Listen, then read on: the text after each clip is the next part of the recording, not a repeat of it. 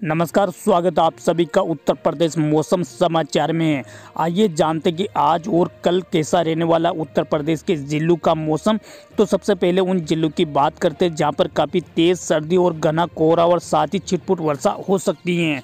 तो वो ज़िले आगरा, अम्बेडनगर, आजमगढ़, बलिया, बाराबंकी, बिजनौर, चंदौली, एटा, फारुखाबाद गौतम बुद्ध नगर, गोड़ा, हापुड़, जालौन, जौनपुर, हरदोई, गोरखपुर, गाजियाबाद, फतेहपुर, इटावा, चित्रकूट, बदायूं, बरेली, बलरामपुर, बागपत, अमेठी, ओरिया, बादा, बस्ती, बुलंदशहर, देवरिया, फैजंदाबाद और फिरोज़ाबाद, गाजीपुर और हमीमपुर और हाथरस।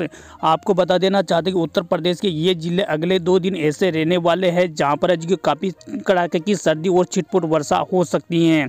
इसी के साथ आपको बता देना चाहते कि कुछ इलाके ऐसे रहेंगे जहाँ पर इसकी शाम के चार से पाँच बजे के बीच ठंडी हवा यानी शीतल लहर चलेगी और रात के समय में काफ़ी कड़ाके की सर्दी पड़ेगी।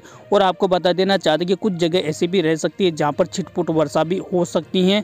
और आपको बता देना चाहते कि कुछ जगहों पर सुबह के समय में काफ़ी घना कोहरा छाया रहेगा। तो दोस्तों, उत्तर प्रदेश के सभी जिलों की रोज़ाना ताज़ा मौसम की जानकारी जानने के लिए अभी हमारे चैनल को लाल वाला बटन दबा कर सब्सक्राइब ज़रूर कर लें।